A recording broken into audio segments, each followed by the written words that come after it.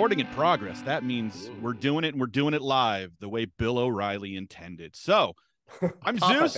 Uh, yeah, exactly. Welcome, welcome to Bolded Slugs. And uh, today with me is my guest, Richard Snyder. Tell the people how you are, Richard.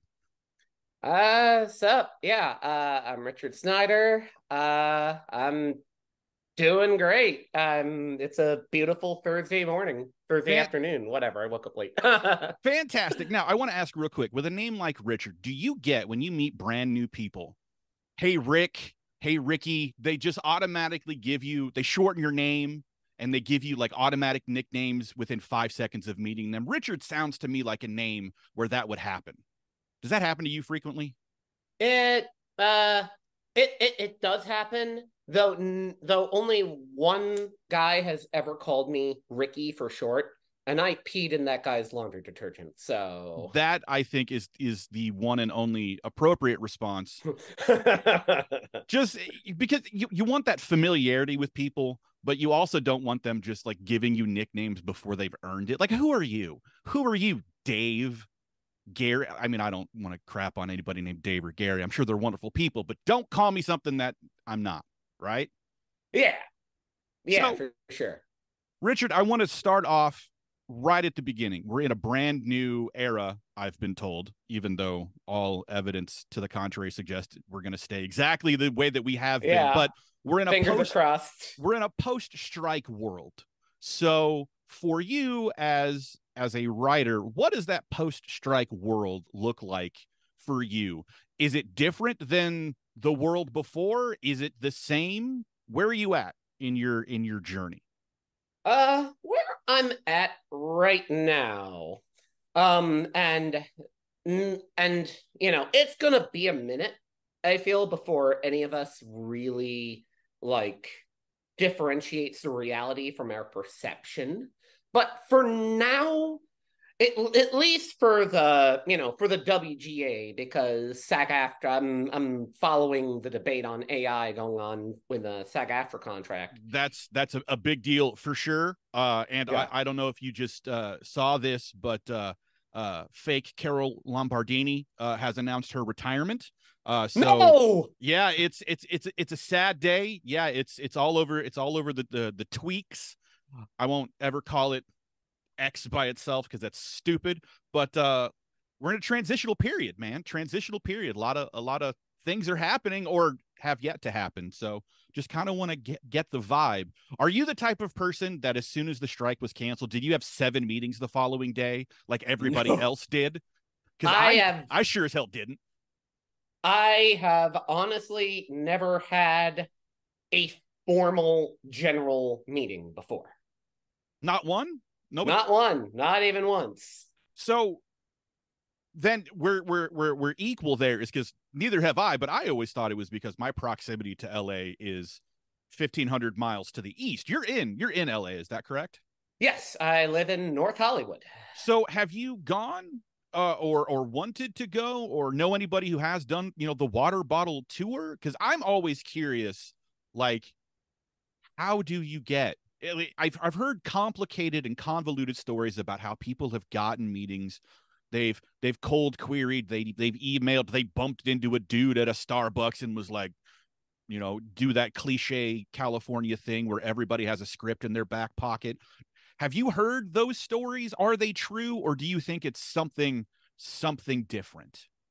Um, I think it's true because I have dipshitted my way into like. Oh, by the way, can I curse on here? Absolutely, fuck. I don't give Oh, a okay. shit. All right, awesome. All right, yeah, I I dipshitted my way into things. Like I did, like have an a little informational lunch with uh an alumni from one of my alma maters who just came out here because that's something that occasionally happens, and she got me in front of an agent once. So Ooh. Nothing came. Nothing came of it. Oh, But- did did they offer you? uh I'm, I'm gonna butcher it because I don't care how it's pronounced. The Lacroix, Lac- Lacroix. Did they offer you the uh, allegedly fruit flavored beverage that is, quite frankly, it just sounds disgusting, regardless of flavor? Uh, no, honestly, if anything, the this particular agent just seemed to want to get me out of his office.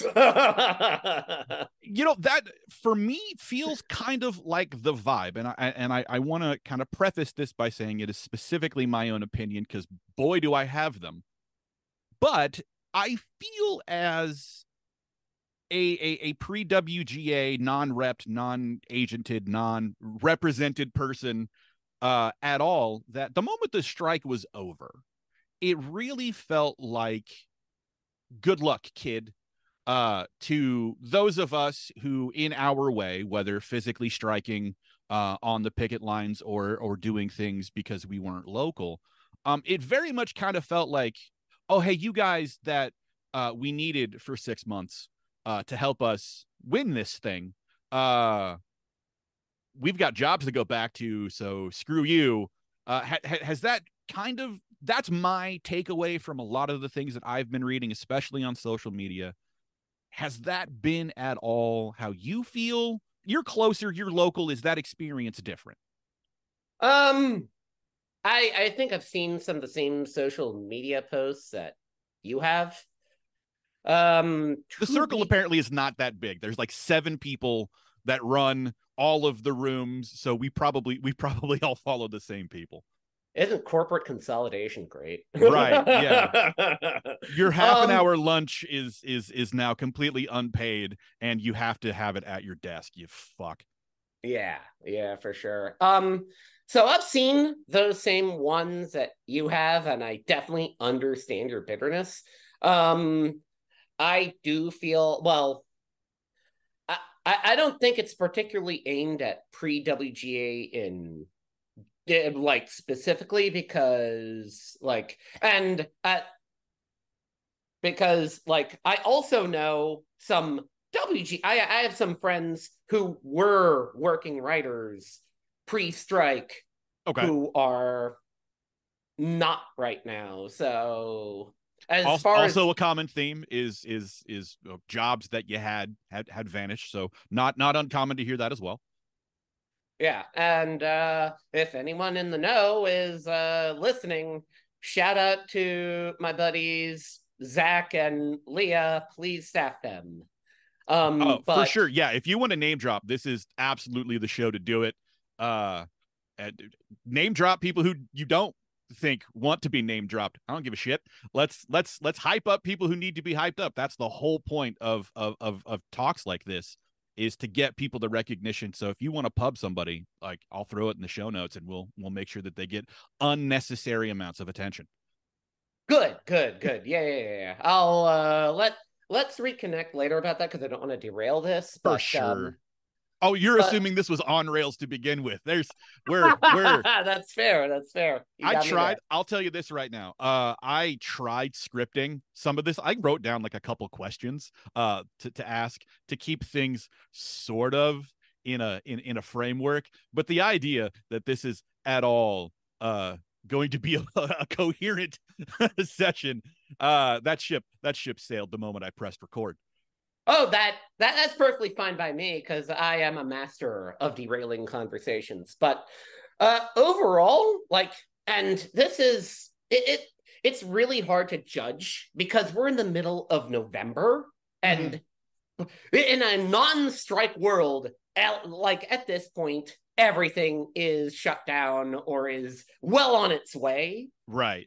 Uh, so, my understanding is November 15th is the day that normally everything shut down, which was yesterday as of recording. So effectively, yeah, if it wasn't shut down before, it's likely going to be. Uh, do you do you believe that or do or do you think that because of the strikes that there will be more uh, I don't know necessarily like announcements or or or like um, rooms being opened up, that sort of thing. But do you think there will be more going on behind the scenes this year as opposed to any other normal uh kind of off period?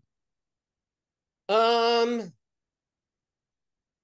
I don't and I and I have like zero insider info to point to like one way or the other. Um I do I I do genuinely think that the studios don't have a whole lot in in the barrel and i and i think that's part of why they settled like they were they were running extremely low especially doing zero business for like uh half a year seven months and then Uh, they were Yeah, it started in March, I believe. Is that if I'm I went to public school, so math on this show is not going to at all uh, be accurate or correct. Um, I'm still happy that my math teacher can go fuck himself because he said I'd never have a calculator in my pocket wherever I went. and boom, here we are. So boom yeah I, hey i went to public school in florida so ooh, yeah I, ooh. I- I, I- I, I, am going to ask you. I'll, I'll I'll try to remember to get back to this later, but I'm going to ask you. You know, do you have any Florida man stories? Because those those would be really good to go out on. Oh Jesus. um I I think I I I'm the that that whole Pete in my room in my freshman year college roommate's laundry detergent story makes me a Florida man. Now, do you get uh is is that a stable gig? Uh cuz is is that uh something that you can get maybe insurance for? Mm, It's certainly Flo- not authorized by the state according to every news article everywhere, but Yeah, uh, uh honestly of uh, every gig I've worked in Florida has been low paying and uh yeah, I've never been insured. I I had to I had to move all the way out here to, to get that stuff. if you move to Los Angeles as an improvement from Florida, what does that say about Florida? Because Los Angeles, Los Angeles has its its its own fair share. I'm not entirely sure. I haven't checked. Is I ten still closed? Uh, is that Uh, still a thing? The 10 is still very much closed, but here here's a here's a crazy thing for you. I've been carless for a decade. In fact, being carless was actually the uh the the God, the word is Impetus. the impetus. There, we There go. go. That, We're uh, writers. we know yeah, words. we're, I'm such a great writer. That's why I'm working tech. Don't ask me to spell it. I don't know. I Yeah. I'll sound it out. Uh, yeah, that was actually the impetus that got me to LA because I got in a car crash and I drove a 21 year old Mustang, which was definitely old enough, if not to drink itself, old enough to make me drink. So Wow. yeah, and uh, then I just uh, I didn't want to deal with that shit anymore. So whatever the whatever the faults of our public transportation system here, they were uh far less worrisome to me than dealing with LA traffic and uh and uh and the bullshit of whatever beater that I could afford. And it would That's- have to be a beater. That's how you outsmart the game. You can't you you can't get stuck in traffic if you don't have a car. Suck it. Yeah. There we we got eight subway lines here. We can do it. So let's let's focus back up and go back a bit because I I'm very curious about where people. You say you're some you're from Florida. You're transplant to L.A. Uh, you're right on the cusp, especially in this new. Uh, well, and I say new, but we can we can talk about whether or not it's actually new for people who aren't already established. But uh, presuming that this is a, a a new world for writers and things are going to open up the way that the strikes have led us to believe that they will. Where do you fit? Where do you feel that you fit in terms of the work you want to do? Are you a TV guy? Are you a feature guy? Do you feel that you want to be in one or the other? Um, like what essentially, I guess I'm asking, what work do you feel you are best suited to do that could potentially be of of of value to someone who would perhaps make it?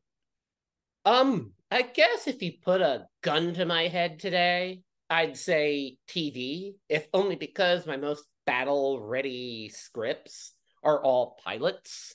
Okay. I during the pandemic, uh I I I got a major I I simultaneously got a major like a crisis of faith and a major shift in my attitude of how I wrote, what I wrote about, what format is it in. I I, I start like so I was I was very much drinking the Kool-Aid Mm-hmm. pre-pandemic. Oh, TV is hot, right? Lots of TV. It's the golden age TV. It, you're not slumming it in TV anymore the way that it used to be back in the day. Absolutely.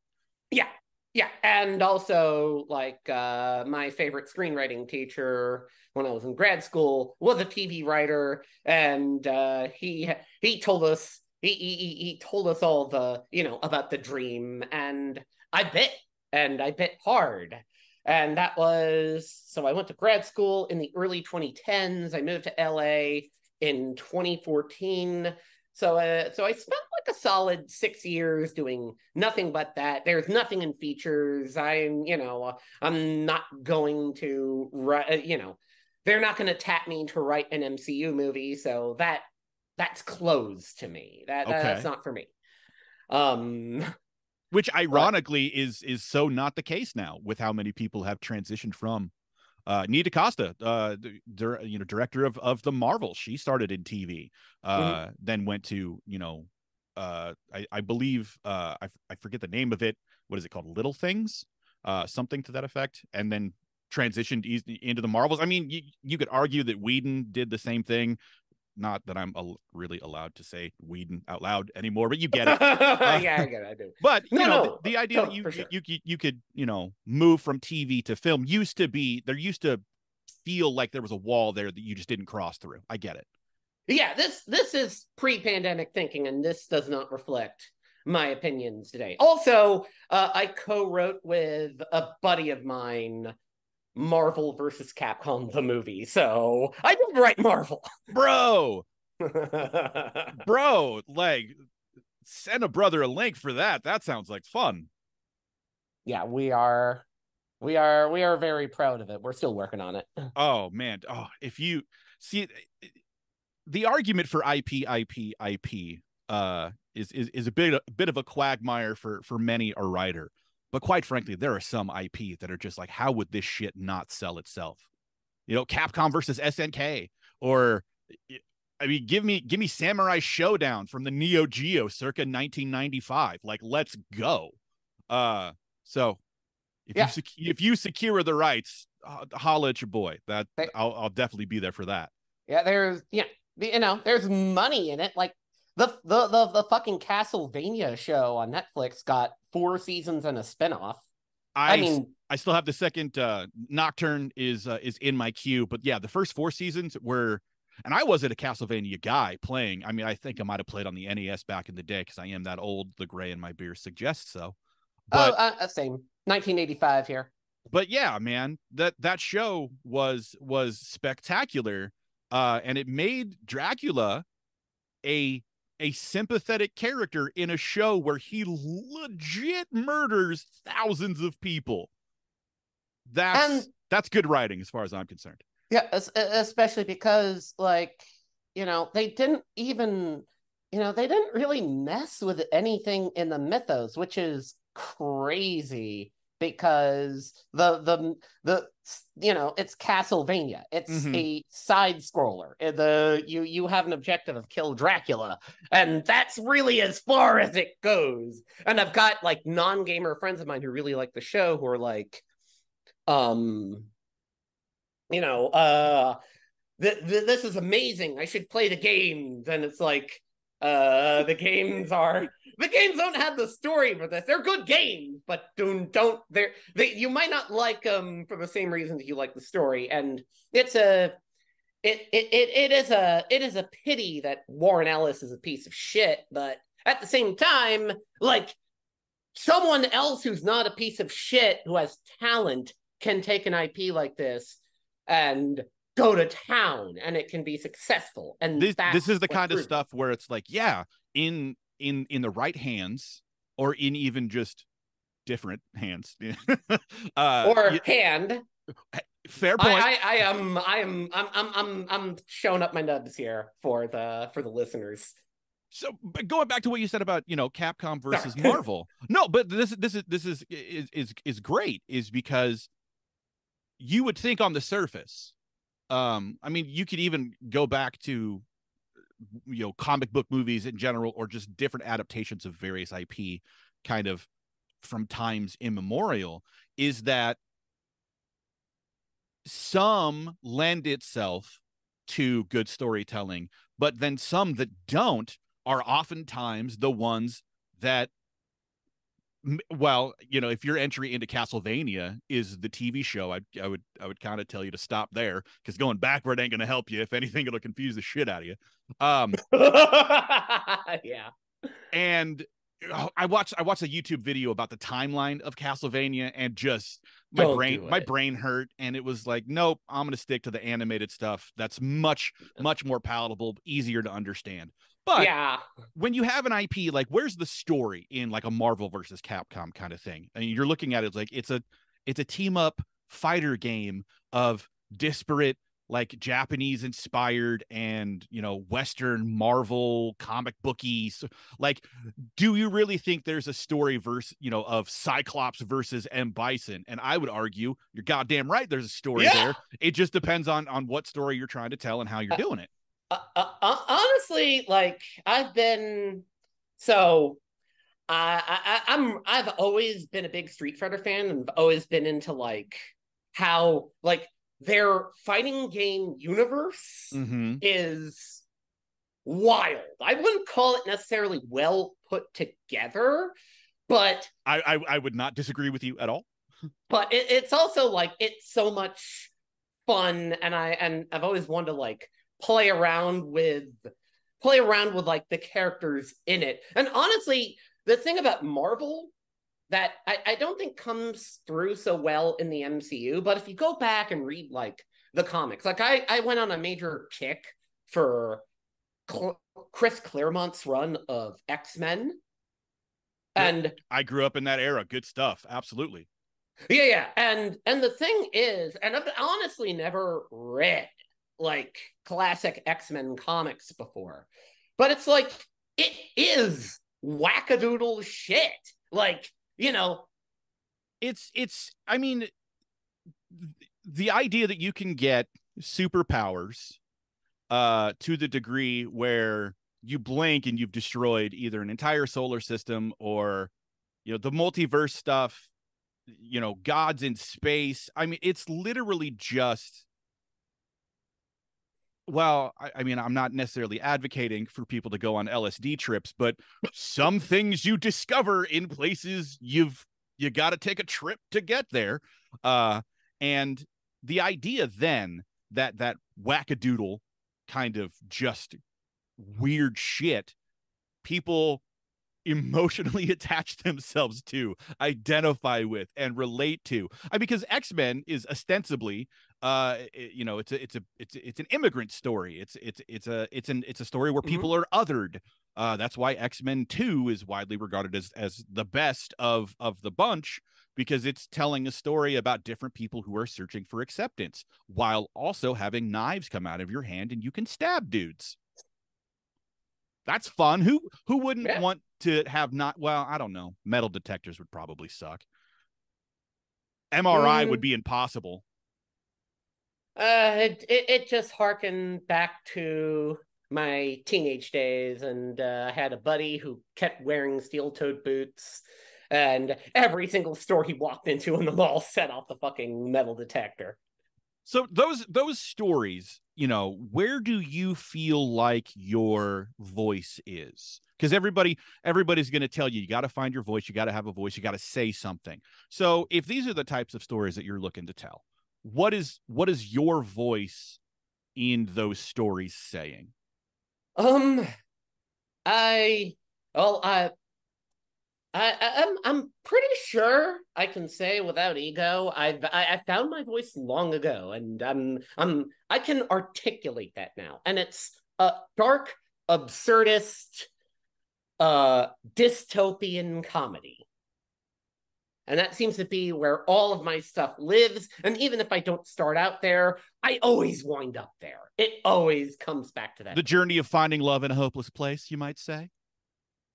Uh, I don't know if you're a Rihanna fan at all. That was that was that was a, that was a that was a song drop. Sorry. Uh, you're you're good, but I I I, understood that reference, and yeah, I, th- I I think that's a pretty astute statement for that. Given you know the the- state of the world at large, you know we're we're in the middle of uh I, I hesitate to call it anything other than a conflict in the Middle East before people start throwing shit. Uh, you've got uh, a government that may or may not work depending on the afternoon uh, here in the states. Uh, you know the the climate, mm. we're ruining it if we haven't already mm-hmm. fucked it completely. So. Is do do you feel like it's gallows humor or do you feel like it's catharsis? Um, or are are those things different in your mind? Uh honestly, a little of column A and a little of column B. Like I, I definitely like grew up on the edge lord era of cartoons. Like I, I, you know, I was raised on The Simpsons, Beavis and Butthead, and the uh, classics as they were.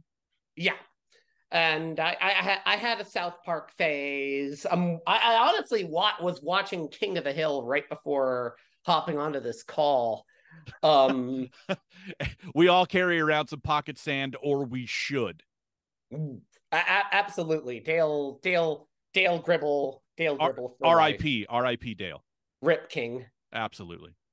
Um, but yeah, and those honestly, especially the, more I think about it, the more like Mike Judge has probably been my North Star for like what I do because it is it is edge lord it is oh my god he said that but I don't like I'm I'm I'm trying to like give it a purpose and give it a function mm-hmm. because uh, I I'm I'm I'm I'm like nearly 40 I'm I'm a little old just to be just to be amazed by like oh my god he said fuck on TV I'm, um, I I mean yeah and Mike Judge eh, eh, I because I, remember when Beavis and Butthead first launched in MTV. You know, back mm-hmm. when music videos were a thing that you could watch on television. hey, eh, no offense to Rob Dyrdek, I, I, that dude is cashing checks and fucking doing ollies and kick flips off of them. But for the love of God, uh, can can we see Michael Jackson's Thriller? Uh, you know, throwing to Whitney Houston. You know, I want to dance with somebody. Can we do something? But Mike Judge, uh, who may have at one time been the the king of edge lord humor i would almost argue that dude is voice of the people because every who doesn't know a guy or two that are or are not beavis and butthead one of which might actually be in congress currently or you know, or or a guy who sells fucking propane and, and propane, propane accessories.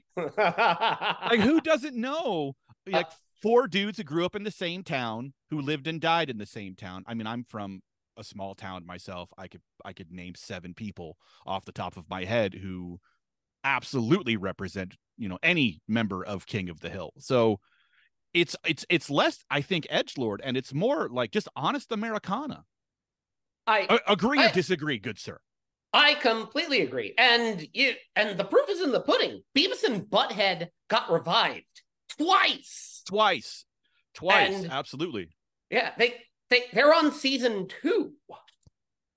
And they had uh major motion picture. I have heard rumblings pre-strike, and this may or may not be accurate, that they were going to do another feature. If not, try to do a live action one. That would have been. I mean, who doesn't need TP on their bunghole from Lake Titicaca? That's uh, a I... that's a reference for most of the kids who are like, "What the fuck did that old man just say?" but but for those who are in the know, they're they're giggling they're giggling right now, and you know because it, it, oh was that was my middle school years, man. Well, it was an honest assessment of just like pop culture and just what was going on. You know, you would watch a Danzig video and you're like, yeah, musically it, it, it sounds great, but good lord, his videos are fucking weird, you know, or what whatever it was that's what me and my buddies at the time we were doing is is you know the mst3k of it all is you just make fun of the things you see even if you like it. And that's just i mean i i hate to drop the d word but that's just the discourse of things isn't it? Yeah no that was that that was the M- mike judge was onto something very very you know poignant So you in the feel early that 90s. you want to tap into that, or or not necessarily be a, a spiritual successor, because uh, to, uh, at the time of recording, Mike Judge is not dead. Uh, so you you don't necessarily need to go on in his name, but you want to tell stories and things of that nature in that vein, and and and keep things going. Is is is that kind of the vibe that you're after? Yeah. Yeah, I I I I like my weird stuff. where do you think that you let's let's play the long game out. Let's say that you are going to get a general or and then you get a specific and then you get into the the the, the two famous words that all writers want to hear and that's bidding war. Where do you feel your work would be most at home? If that's a channel if that's like is there a, a company you want to work with a prodco a distro who who do you think your work would feel best suited for Uh, to be honest, probably Adult Swim. the old standby. I mean, I, I I've heard that they're revamping uh their themselves uh, and they they have closed down the original the original compound. But Adult Swim, hey, yeah, that used to yeah used to be a stalwart if it's not still of of awesome programming. Yeah, and also like weird programming, and th- th- like there's still like I m- maybe maybe there's an upstart that'll challenge them. Also, hate to cut you off, but we are at a two minute warning here. I am watching the clock uh as as if I am trying to uh grind it down so I don't get a last second field goal to beat me. Uh so Ah. no, we are we are rocking real close to the line. Uh on that note, uh before we run out of time, where can people find you? Uh pip your socials. Where where where do you uh where do you most feel uh, at home corresponding with the hench folk out there? Um, honestly, these days I am not very online much. Oh, capital O online. I spend way too much time online. But if you want to look at a bunch of reposts on Twitter, because I don't have time or inclination to really make a discourse of my own, you can find me on Twitter or X or whatever at uh, uh, at Dead Honky, D E A T H O N K Y. That is one word. Um, or you can follow my Instagram if you like old strike photos and screenshots from the Yakuza games at at shit Richard eats. All, all also all one word. fantastic. And i thought i had a clever uh twitter handle. No you uh you you certainly are are, are putting one in, in in the victory column. I'm not an instagram guy so uh absolutely winner as far as i'm concerned there. Richard i very much appreciate your time. Uh point pointed and constructive discussion this absolutely was appreciate Fuck you yeah. being on uh the, the first episode of of bolded slugs Oh, And, thank you for uh, having me. and uh we just like to talk BS here. Appreciate your time, Richard. Have a good one. Fuck yeah. You too, man. Have a good one. Take it easy. Bye-bye.